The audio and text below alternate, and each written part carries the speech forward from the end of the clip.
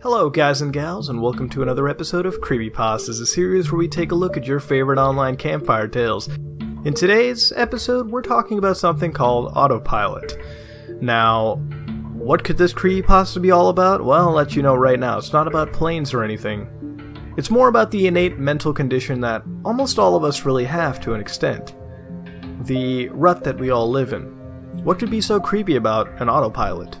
Well, sit back, relax, and find out. Have you ever forgotten your phone? When you did realize it, I'm guessing you didn't just smack your forehead and explain, damn, apropos of nothing.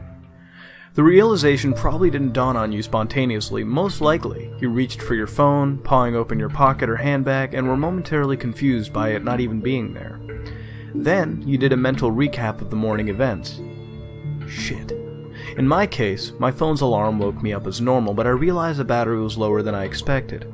It was a new phone and it had this annoying habit of leaving applications running that drained the battery overnight, so I put it on the charge while I showered instead of into my bag like normal. It was a momentary slip from the routine, but that was all it took. Once in the shower, my brain got back into the routine it follows every morning, and that was it. Forgotten.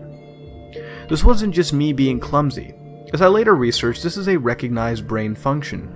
Your brain doesn't work just on one level, it works on many. Like when you're walking somewhere, you think about your destination and avoiding hazards, but you don't think about keeping your legs moving properly. If you did, the entire world would turn into one massive hilarious QWOP cosplay. I wasn't thinking about regulating my breathing. I was thinking whether I should grab a coffee or the drive to work, and I did. I wasn't thinking about moving my breakfast through my intestines, right? I was wondering when I'd finish on time to pick up my daughter Emily from the nursery after work or get stuck with another late fee. That is the thing. There's a level in your brain that just deals with routine, so that the rest of the brain can think about other things. I mean, think about it here. Think about your last commute. What do you what do you exactly remember? Probably little, right? If anything. Most common journeys blur into just one, and recalling anyone in particular is scientifically proven to be difficult. Do something often long enough, and it becomes routine. Keep doing it, and it stops being processed by the thinking bit of the brain and gets relegated to a part of the brain dedicated to dealing with routine. Your brain just keeps doing it without you even thinking about it. Soon you think your routine to work as much as you do keeping your legs moving when you walk. Most people call it autopilot.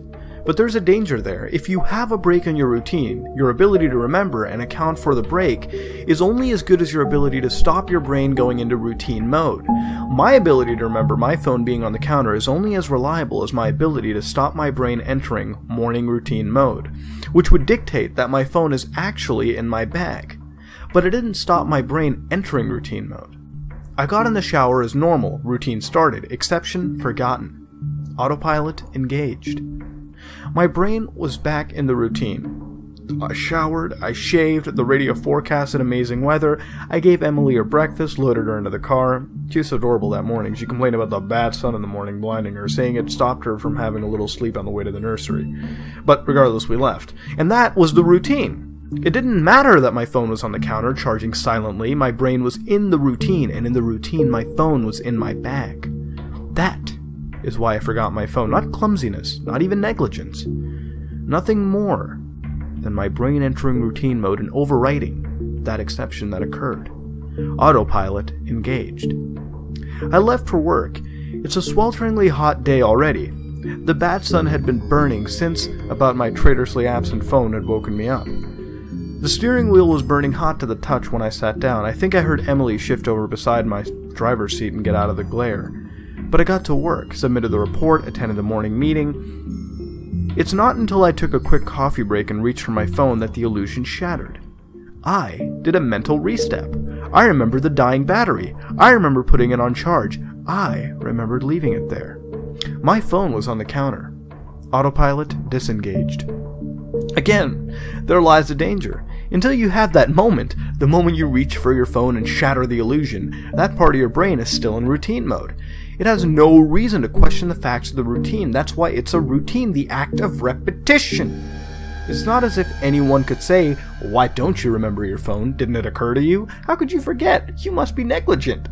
This is to miss the point. My brain was telling me the routine was completed as normal, despite the fact that it wasn't. It wasn't that I forgot my phone according to my brain, according to my routine. My phone was in my bag. Why would I think to question it? Why would I check? Why would I suddenly remember out of nowhere that my phone was on the counter? My brain is so wired into this routine, and the routine was that my phone was in my bag. The day continued to bake. The morning haze gave way to the relentless fever heat of the afternoon. Tarmac bubbled. The direct beams of heat threatened to crack the pavement. People swapped coffees for iced smoothies, jackets discarded, sleeves rolled up, ties loosened, bros mopped. The park slowly filled with sunbathers and barbecues. The window flames threatened to wrap. The thermometer continued to swell. Thank fuck the offices were air conditioned. But as ever, the furnace of the day gave way to a cooler evening. Another day, another dollar. Still cursing myself for forgetting my phone, I drove home. The day's heat had baked the inside of the car, releasing this horrible smell from somewhere. Hmm. When I arrived on the driveway, the stone crunching comfortably under my tires, my wife greeted me at the door. Where's Emily? Fuck! As if the phone wasn't bad enough after everything I'd left Emily at the fucking nursery? I immediately sped back to the nursery. I got to the door and started practicing my excuses, vainly vainly wondering if I could charm my way out of a late fee. I saw a piece of paper stuck to the door. Due to vandalism overnight, please use side door today only. Overnight? What? The door was fine this mor- I froze. My knees had shook. Vandals? A change in the routine? My phone was on the counter. I hadn't been here this morning. My phone was on the counter. I'd driven past because I was drinking my coffee. I didn't drop off my Emily. phone was on the counter. She moved her seat, and I didn't see her in the mirror. My phone was on the counter. She'd fallen asleep out of the bad sun. She didn't speak when I drove past her nursery. My phone was on the counter. She changed the routine. My phone was on the counter. Changed the routine, and I'd forgotten to drop her off. My phone was on the counter. Nine hours. That car, the baking sun, no air, water power to help. That steering wheel too hot to touch. That smell. I walked to the car door numb and shocked. I opened the door. My phone was on the counter, and my daughter was also dead. Autopilot disengaged. Wow! For the first time in a while, I found a really good mindfuck creepypasta. And remember those since the Zorax days? This one has a morbid ending, and for that I'm glad it's fiction, but the concept behind it is shockingly close to how some would act in this situation. What I mean is that we've all heard of a rut. Am I correct? We all have some form of a routine. Now, I assume a lot of us have a phone, wallet, or something of equal importance that we use on a daily basis. It's happened when I've driven to a grocery store and I forgot my wallet, and it doesn't happen a lot because I automatically, you know, grab my wallet, you know, without thinking really in my head. So it's that subconscious part of the head that just does things, right? I reach into my pocket and when I don't feel my wallet or anything else, I snap out of whatever state I'm in, and my eyes widen and I start frantically checking my pocket or any close by compartment of mine.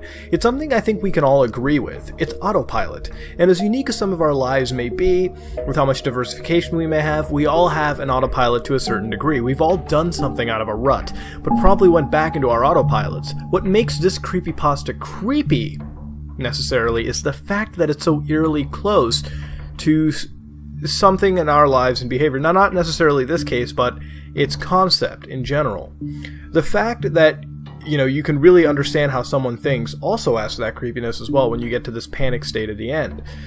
And if we look at the panic state, you know, more importantly, how it acts is that, again, like I said, when I reach into my wallet or something, you know you do reach this panic state. You do get into a you know position where you start to think what happened. Like it's just something that happens to you that is so jarring. And it's weird to you know talk about but it is real. It happens. And i'm pretty sure a majority of people that are watching this video may have been in that state at one point. Now the messed up part is is that again like i said it can happen to anyone. No one is ex- exempt from this. That's why this concept works in its creepiness. That's why that's why it, it's as hard hitting as it is no matter how shocking this creepypasta may be, this paradigm, this model, you know, this uh, this rut ideology is universal. The story has great build-up, written well, and the concept was shocking again in one of the best ways, and honestly I think this is the best mindfuck creepypasta to me so far. An ending I didn't expect, but it did leave my eyes wide open. In the end, I do ask, uh, what do you think about this, and what would you change for this creepypasta, and what would you rate this? Let me know in the comments below. This has been another episode of Creepypastas, and if you like what you saw, then please like, comment, and subscribe. This is me, Mutahar, and... Where's my phone?